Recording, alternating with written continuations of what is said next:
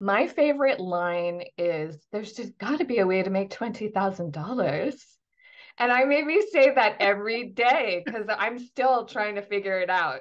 There's got to be a way. How do we do it? How do we do it?